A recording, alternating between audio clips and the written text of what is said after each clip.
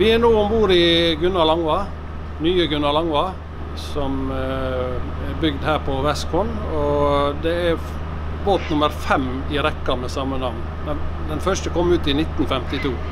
Jeg kan nevne som et eh, apropos da, at det, den båten her i forhold til den forrige, som var bygd for 16 år siden, så er her over dobbelt så mye kabel. Det er eh, mellom 70 og 80 km med kabel totalt.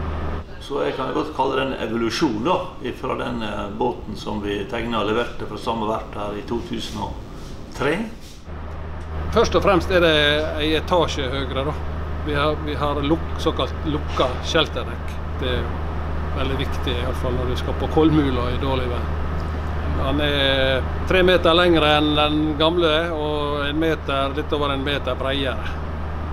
Vi har en større båt, men vi skal gå samme hastighet med mindre ytelse eller tidligere. Det er planen. Man skal ha også litt større propell enn den gamle båten. Man skal taue veldig godt i, i kolmule. Vi har en ny kran bak på eh, hekken som vi skal eh, bruke når vi hiver ut pumpa å pumpe bak. og den, eh, Det er en prototyp da, som Triplex har utvikla. Største forskjellen på den kranen er at hun har ikke denne her tradisjonelle svingkransen, men det er hydrauliske stempel som kjører svingen.